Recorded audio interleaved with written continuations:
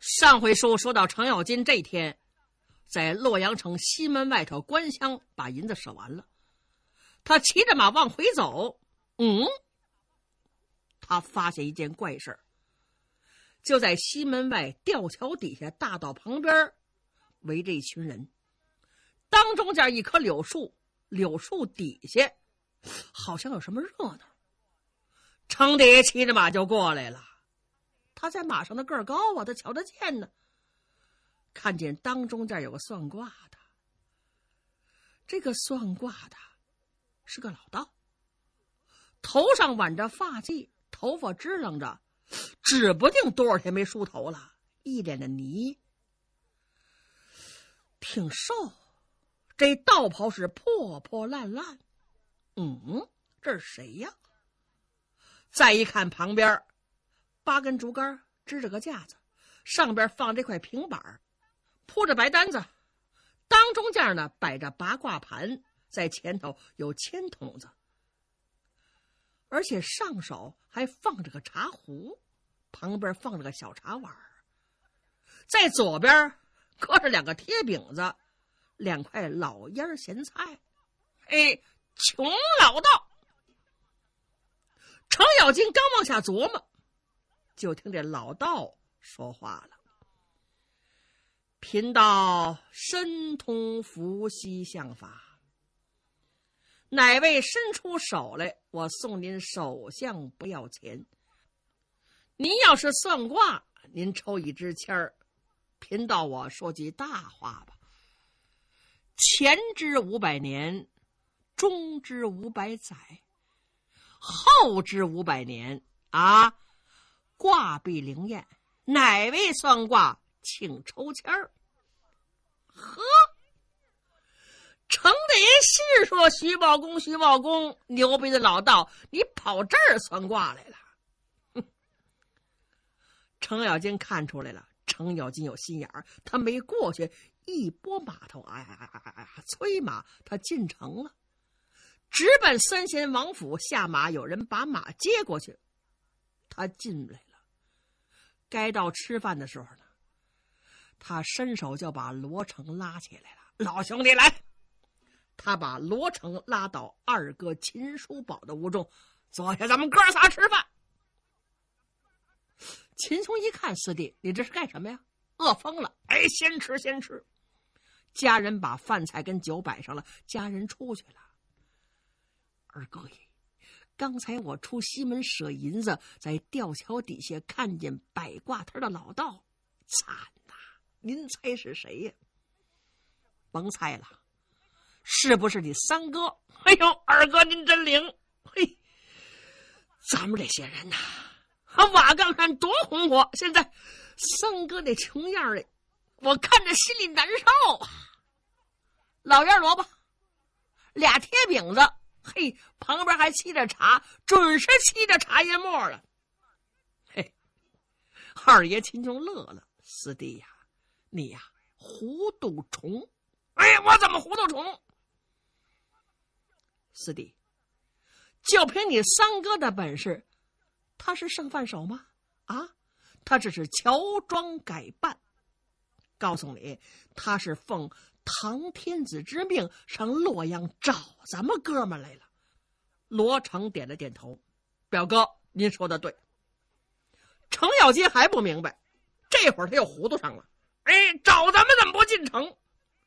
四弟呀，要这么说，你是瞎么海大晕头呢？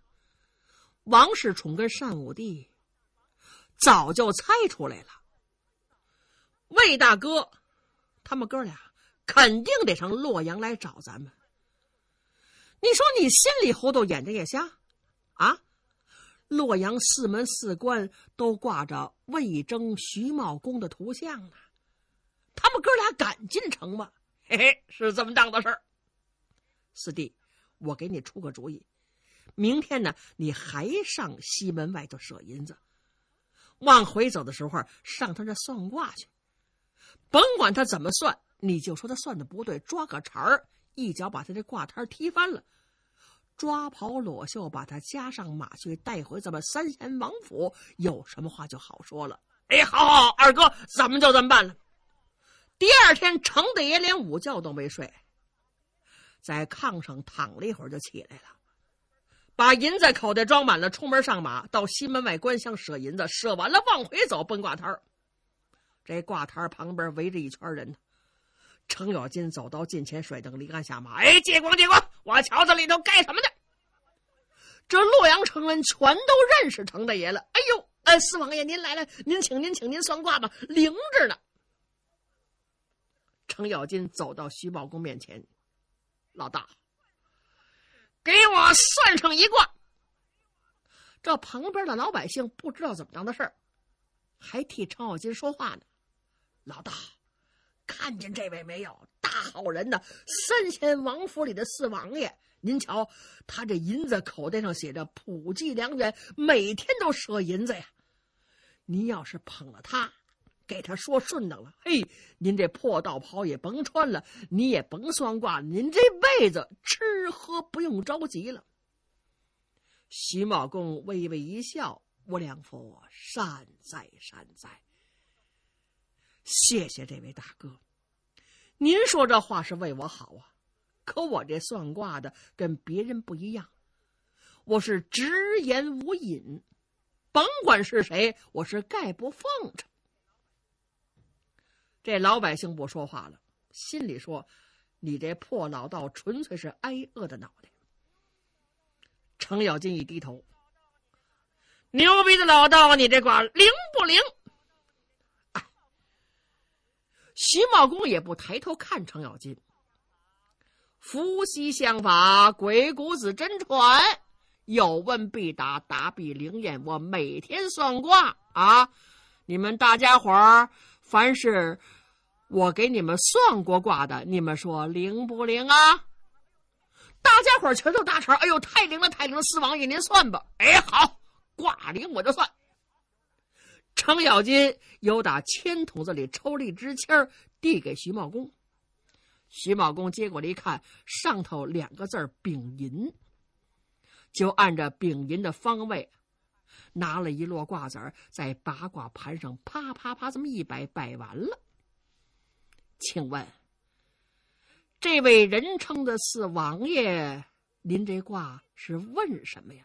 哎，给我算算，我这一辈子吉凶祸福。好啊。那我就算算你这一辈子，你是名人的后代。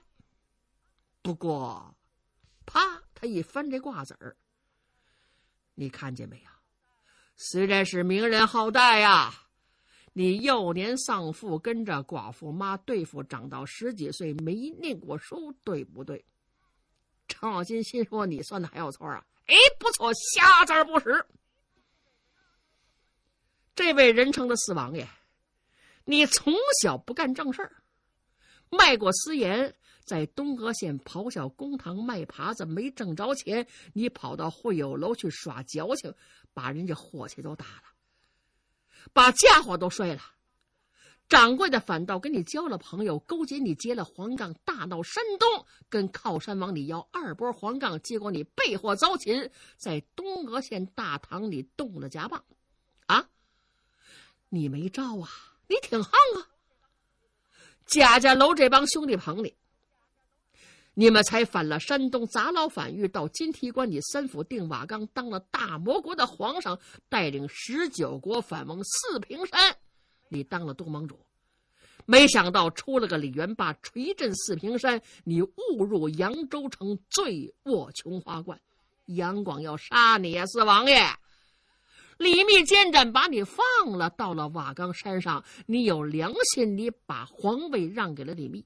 没想到李密无道，瓦岗山散将啊！你们哥仨来到洛阳，住在三贤王府，别人吃山珍海味，心里不好受。你这小子是满不在乎，吃的你顺嘴流油。嘿嘿，我告诉你，人家心里难受，你吃胖了。要从卦象上看。这位人称的四王爷，你是非懒死不可呀！你每天舍银子，如同用河水泼街，你还落个大善人，你呀，嘿嘿，要按媒证来说，你算占全了。这老道这么一说，大家伙全愣了。程咬金心里明白，嘿嘿，你说说，我没证占全，什么叫没证？哼，你没羞没臊没皮没脸没根基没骨头，跌死了没坟地，简直说你呀，你这个人呐，没法再说了。你说我算的对还是不对？程蝶心说。你能算的不对吗？我的事儿你全托底呀！我也不知道我爹埋在哪儿了，真是我们家没准坟地呀。程咬金用手一指：“你这牛逼的老道，你敢骂你家四王爷？”啪，过去一脚把挂桌踢翻了，什么茶壶茶碗全碎了，贴饼子老爷咸菜也甭吃了。气煞我也哇！砰！他一把就攥住了徐茂公的道袍，往怀里一拢，把老道夹在左肋之下，而等闪开了。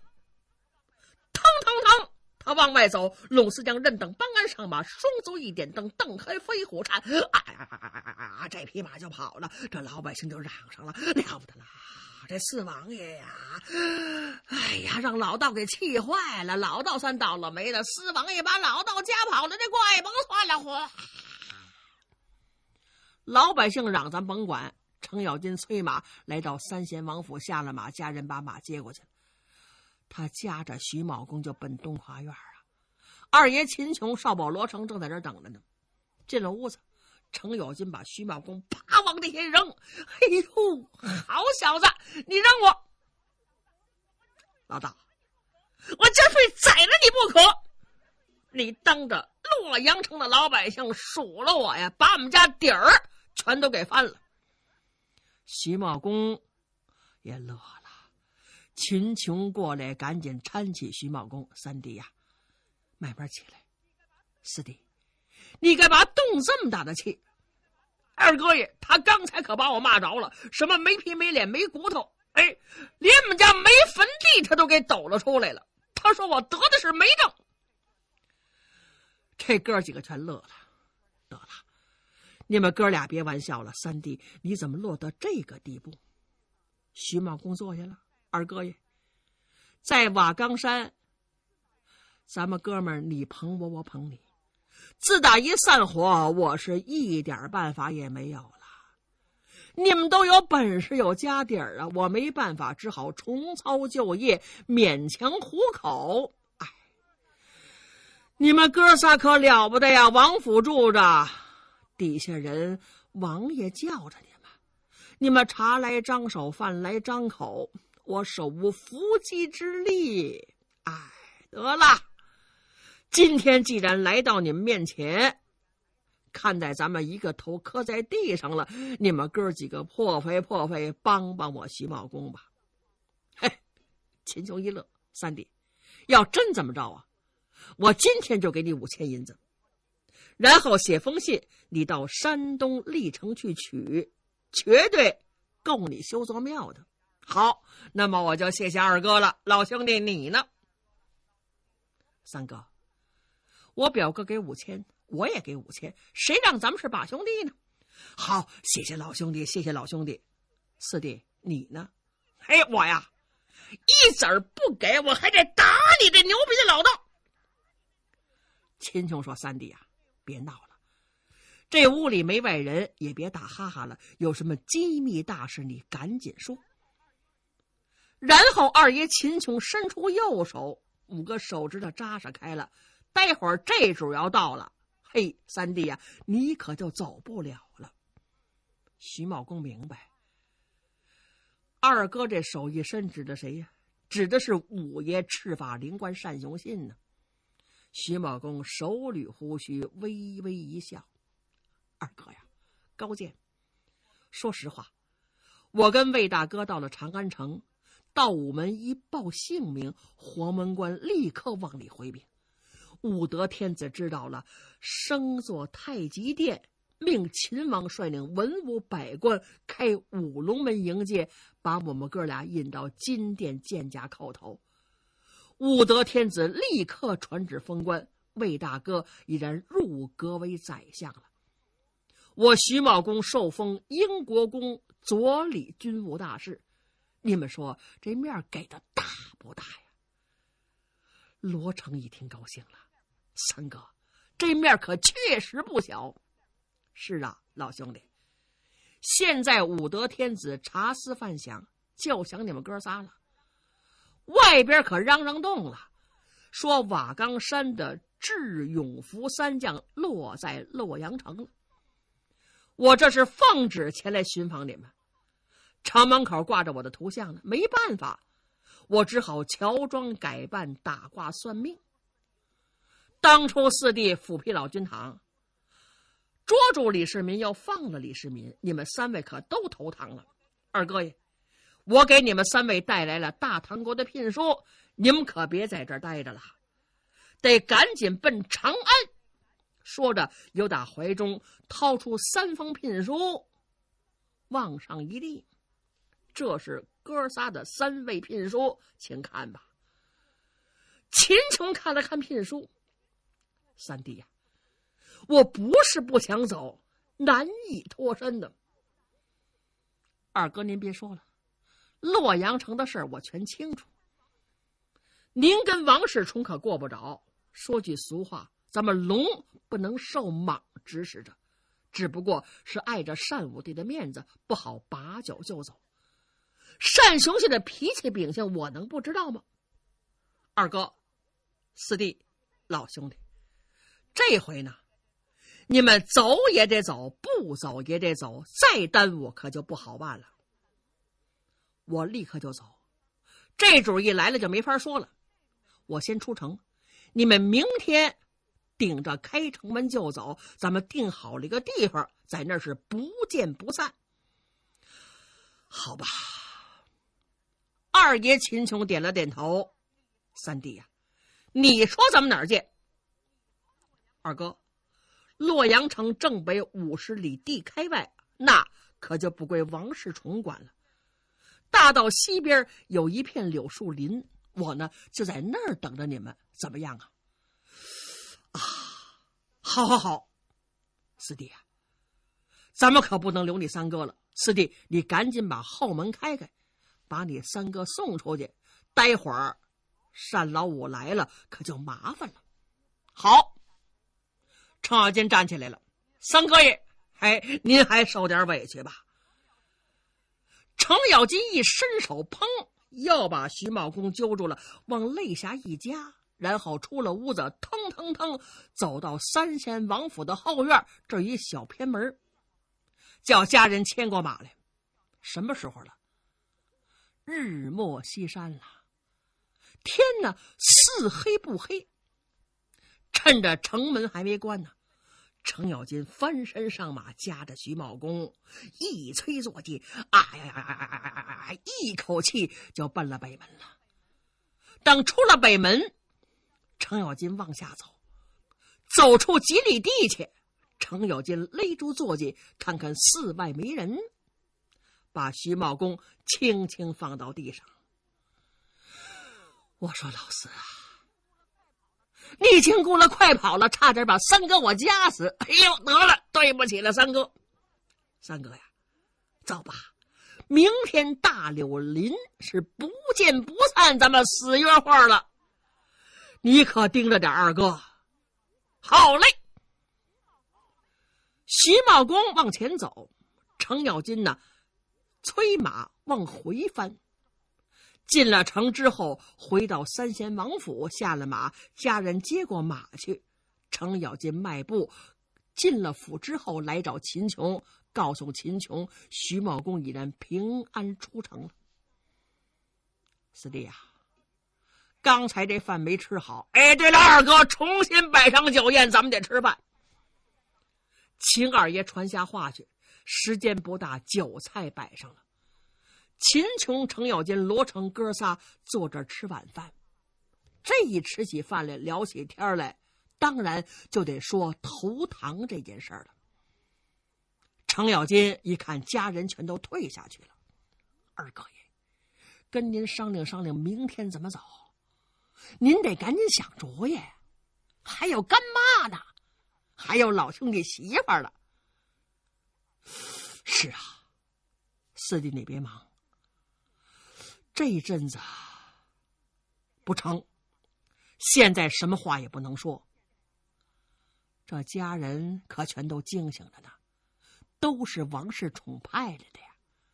等一会儿夜景更深了，家人们全都睡着了，咱们哥仨再坐一块商量。嗯，对。